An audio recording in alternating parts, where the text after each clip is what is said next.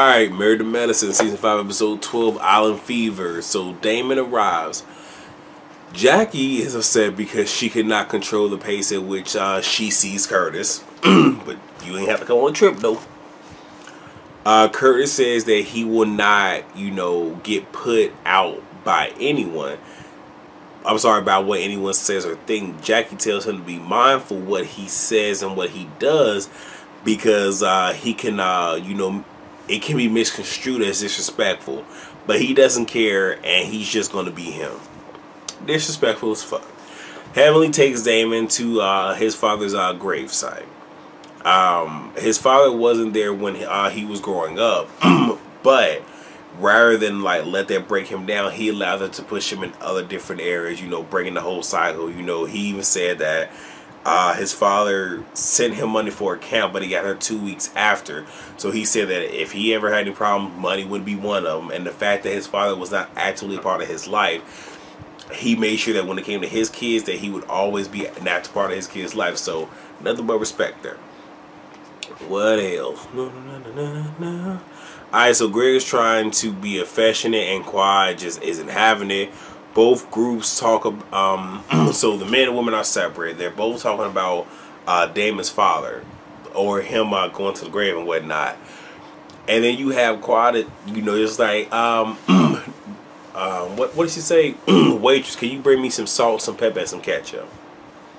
And they just fucked up the whole entire mood, you know, because uh, Simone Holding is like, it's not about you. And that's one of those where she could have easily gotten up, grabbed those items, came back, but just fucked up the whole damn movie.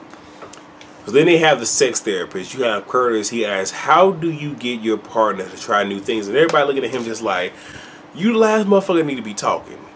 And they're right.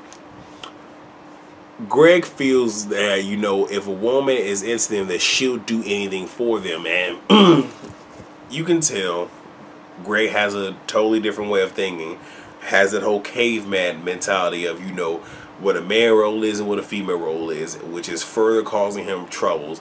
And I've seen on this season that Greg just shut the fuck up or just don't express his feelings on camera. He's fucking himself up.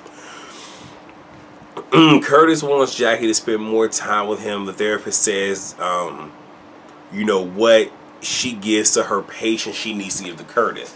Now, the infidelity never came up, but everybody's like, I mean, you had um, Dr. Contessa and Dr. Scott pretty much say that he's selfish as fuck because you knew what you were getting into when you married her. And everybody has that argument of, yeah, that's true, but also agreeing with what the therapist said. But at the same exact time, I mean, if you know somebody has a profession or a job that takes them away, if you get with them knowing that is what their job is, it's not to say that you can't you can't feel a ways about it, but you knew what you signed up for.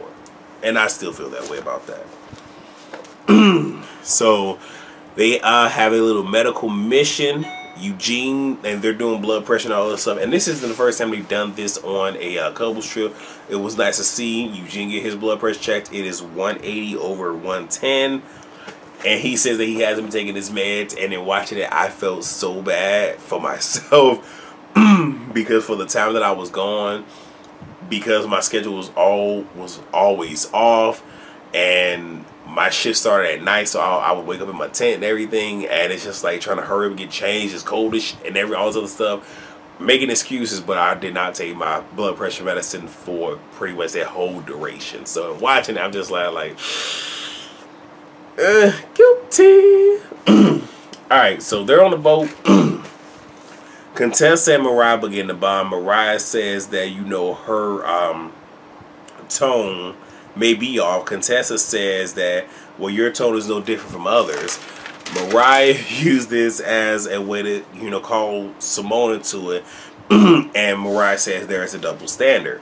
Quad says to Mariah, it's not that. If someone calls you out on your BS, it's not that you are being attacked. Mariah's like, well, nobody calls you out on your BS. Everybody walks on eggshells around you because you're the youngest and they don't want to hurt your feelings.